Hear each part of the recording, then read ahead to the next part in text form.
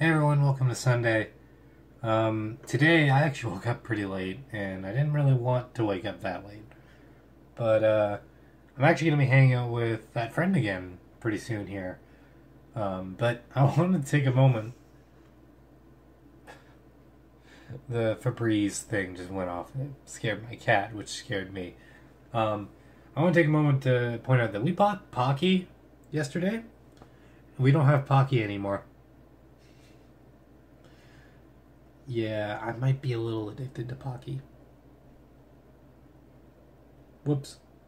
So today was pretty good. Um, I mainly hung out today, really. Um, you know, I was kind of relaxed.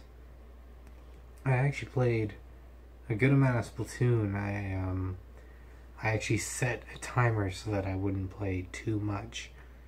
Uh, I hung out with a friend of mine again and um, I did some dishes actually. And honestly, today was just a really good day to relax. And tomorrow I have work, but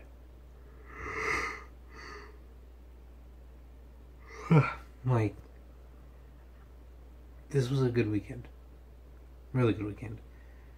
And uh, tomorrow I'm gonna get some videos done, and uh, then I'll be able to bring videos back. Uh, I do need to start editing vlogs a lot, but for now, I need to go to bed. See you guys tomorrow.